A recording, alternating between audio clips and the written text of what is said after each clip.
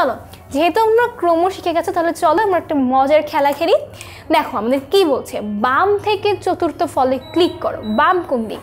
এই দিক নাকি এই দিক? অবশ্যই এই দিক। তাহলে চলো, বাম থেকে চতুর্থ ফলে আমরা ক্লিক করব। এক, দুই, তিন, চার, অর্থাৎ তাল, এটি হচ্ছে আমার বাম থেকে চতুর্থ ফল।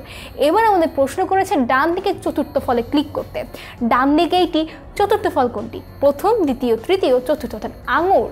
এরপর খেয়াল করো এরপরে আমাদেরকে বলছে বাম থেকে পঞ্চম ফলে ক্লিক করতে। বাম কোনটি? এদিক তো ডান, এদিক বাম। তাহলে বাম থেকে পঞ্চম অর্থাৎ তরমুজ। এরপর খেয়াল করো, ডান থেকে তৃতীয় ফল। ডান দিকে তৃতীয় ফল কোনটি? অবশ্যই ডালিমটি। তাহলে আমি ডান থেকে তৃতীয় ফলে ক্লিক করে এটিকে ভ্যানিশ করে ফেললাম। বাম থেকে প্রথম ফলে ক্লিক করো, কলা। এরপর আমাদের জন্য কি আছে? বাম থেকে চতুর্থ ফলে ক্লিক করো। তাহলে এই হলো আমার বাম দিক রাইট এখান থেকে চতুর্থ ফল, প্রথম, দ্বিতীয়, তৃতীয়, চতুর্থ। দেখো ভ্যানিশ হয়ে গেছে। তাই না? ঠিক তাই।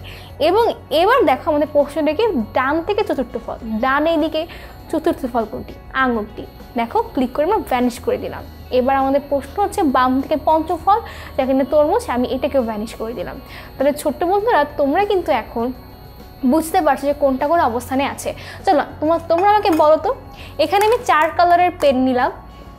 এবং তোমরা আমাকে বলো, এই পেনগুলোর মধ্যে কোন পেনটি বাম থেকে তৃতীয় অবস্থানে আছে?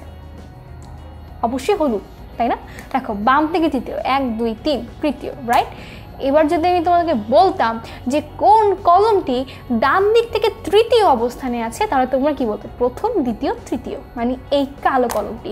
তাহলে ছোট্ট বন্ধুরা, আশা করছি তোমরা ক্রম নিয়ে আর কোনো সমস্যায় ভুগবে না।